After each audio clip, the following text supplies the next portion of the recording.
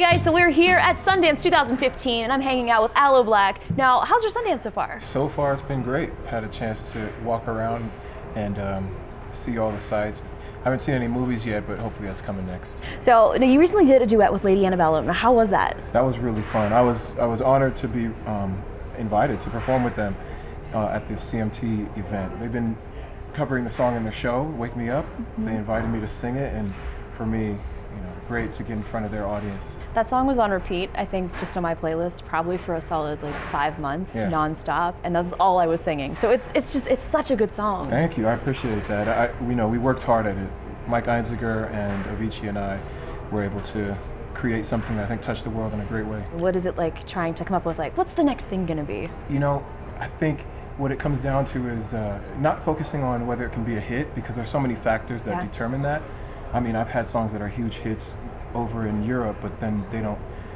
We didn't have the same mm-hmm. infrastructure in the U.S. to make it work. So, as long as I'm happy with it and the musicians that I'm working with are not rolling their eyes in the studio, then we've got something nice. What do you think of the whole Spotify movement? I mean, how is that affecting people? I mean, Taylor Swift pulling all of her music, yeah. and I mean, do you think that's something that is good, or like how is well, this affecting artists? I think I think streaming is obviously the the way that we all want to consume music. My only issue with the way things are going right now is that the laws aren't changing fast enough. Mm-hmm. And I've been talking to people in, in the House of Representatives and the Department of Justice about what it's going to take to change the laws so that they match the the speed of technology changing. So how do you feel about like the social media movement? I mean, that everybody's on Twitter and Instagram and kind of like super interactive. I mean, do you participate in, hmm. in the? I participate. I mean, I do it because I I want to be sure that my fans know what I'm up to.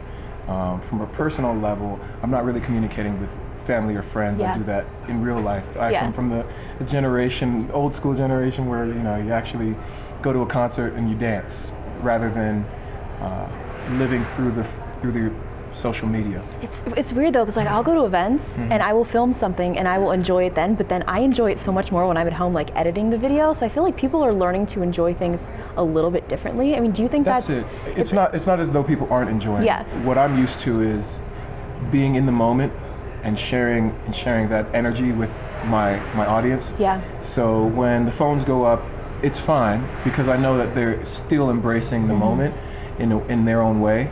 Um, but I just wish that I could see their eyes That's and true. their smiles.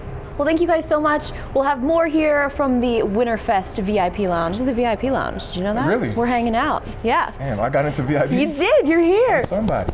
Check out more at billboard.com and youtube.com slash billboard. See you later.